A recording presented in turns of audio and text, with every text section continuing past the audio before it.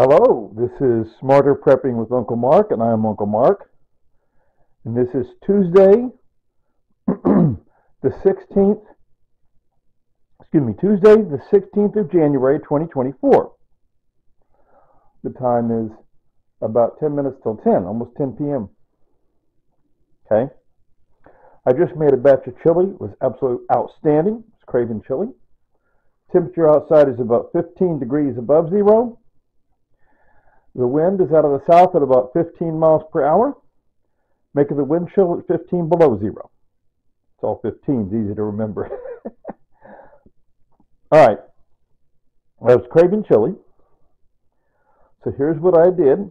I looked around at my free food. All this food is free except I bought I bought the accent, the onion powder, the iodized salt, and that's all. I don't think I bought that chili powder. That came in free. Oh, and I bought that chili seasoning mix, is like half price some reason. Okay. So what I did, I thought, okay, people normally start with some ground beef, but no, I got this canned beef, free canned beef just sitting around, free canned beef sitting around, and I checked, and this is 96 grams of fat, uh, 96 grams of fat, 120 grams of protein in that can. 96 grams of fat, 120 grams of protein. Call that 207 gram. Look, it's 680 grams. So most of it's just water and fiber, I guess. if you think about it, you ever stop to add those up?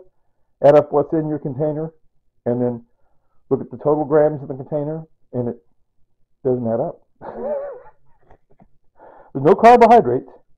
You say 96 grams of fat, 120 grams of protein, 680 grams of something in there. I guess meat is mostly just fiber. Anyway, so had I got several of these. There's some of them see, sitting over there. I don't have the label turned this way, but those are beef. Those white ones that match that color. Had a lot of beef sitting around. I thought, well, that's good. That's good fatty beef. Works just as well or better than ground beef, I think. Okay, just a little bit of salt, seasoning, whatever. So I dump that in this pot over here. See, right? And then one of these cans, no salt added diced tomatoes. Put that in the pan, right? And I put in three of these. Three of these chili with beans. That means in each of these cans there's some more beef with beef fat and then some beans, a little bit of, they put a little tomato seasoning in there. I realized, no, traditionally for chili you want some tomato paste or something. So I add diced tomatoes. Let's add more tomatoes. Okay. Okay. And then I put in the chili seasoning mix, even though I had three cans like this that already were seasoned. I don't care. Added that packet of chili seasoning mix to season up that beef. The beef had a little salt, but no other seasoning, right? And then I threw in a little accent, so a little bit of accent and everything, because to make things taste outstanding. Wakes up food flavor, like I said. Onion powder, just as a rule, you go onion and garlic. So, onion powder I bought the other day, uh, recently at Sam's Club. Iodized salt I bought nearby. Sprinkle just a dash, a couple of dashes of that in routinely, because iodide is necessary. It says there. I take it seriously. Chili powder. Even though I got the seasoning mix, I threw in extra chili powder. Now why not? And I got that garlic salt free. I got that for free. So even though I prefer garlic powder, and I bought one of these canisters of garlic powder, but I figured, no, it's okay. I'll try to use some of that up. And since that don't have much salt, and this is no salt added, that waters it down a little.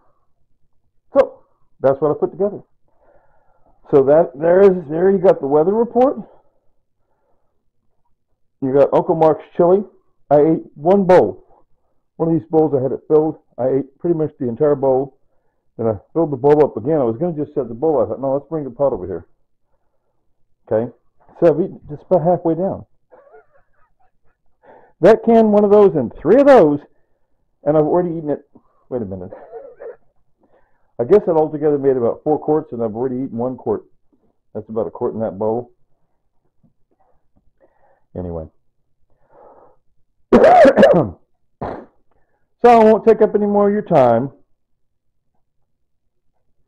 I just thought it was what I call, I call that outstanding chili.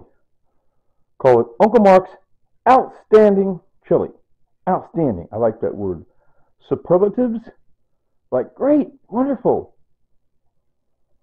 Those different superlatives, I prefer the superlative called outstanding. There's a joke about that. A farmer is a woman outstanding in her field. you like that? The original joke was told a man outstanding in, in his field, but I think there's just as many women farmers as there are men. So a farmer is a woman or man outstanding in their field. How about a couple together outstanding in their field? That's a joke, see, outstanding in their farm field. Never mind. Okay, okay, okay. Okay, I'll go ahead and I still gotta look at this room one more time. Look how nice. Ah, ah. Welcome to our happy home. Ah, see, this is a sign for you watching the videos. Welcome to our happy home. See, our family photos. And I told you how I'm going to redo everything.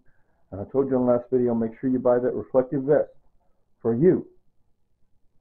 If you're going to do some kind of walking at night in the wintertime. All right, are you ready? Three, two, one. Later, Tater.